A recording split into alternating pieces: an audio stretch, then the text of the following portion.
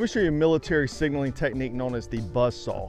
What we do is, is usually we carry chem lights on us because we can mark things, stuff like that.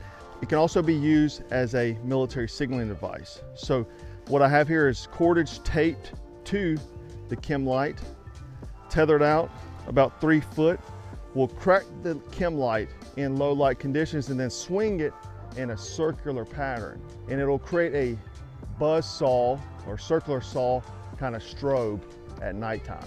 Now we can use night vision goggles if we want to be discreet and our partners have night vision goggles and we can use an IR chem light that can only be seen by night vision goggles. Another thing we can use is the keychain flashlights like we sell in our store, the red ones, and you can tie it on a string and then swing it and it creates the same type of system and you can carry this in your keychain or your survival kit.